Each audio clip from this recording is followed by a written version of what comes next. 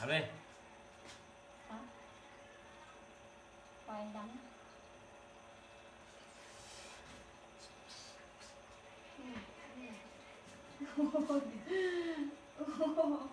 mua anh mua cơm nhau đó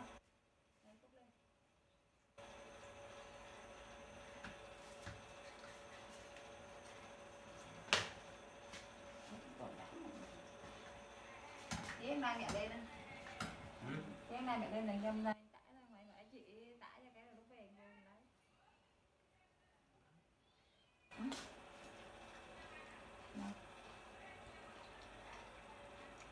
Lúc anh làm mẹ đi á.